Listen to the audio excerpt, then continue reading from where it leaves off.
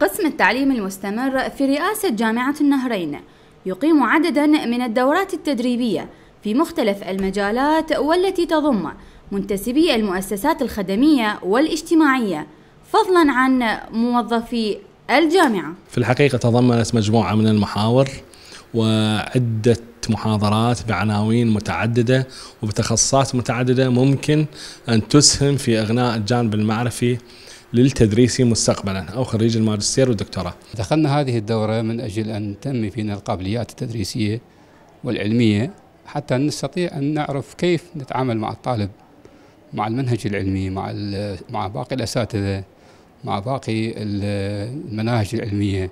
شملت هذه التدريبات العديد من الدورات منها دورة طرائق التدريس لحملة الدراسات العليا لإعدادهم وتهيئتهم فضلا عن دورة النظام المحاسبي لعدد من المؤسسات الخدمية. دورة النظام المحاسبي اللامركزي وأول يوم يتم افتتاحها واللي منتسبين اللي أربعة من عندهم من خارج الجامعة. واحدة من المنتسبات هي من داخل رئاسة الجامعة. وإن شاء الله يستفادون من عندنا يعني اللي موجودين من خارج الجامعة من المحاضرة اللي ننطيها. جيت هذا قسم التعليم المستمر في جامعة النهرين لدخول دورة النظام المحاسبي الحكومي. طبيعة عملي أنه أنا أشتغل بالحسابات ممكن أن نزيد خبراتنا بهذا المجال ونتوسع يعني بأكثر يعني معلومات.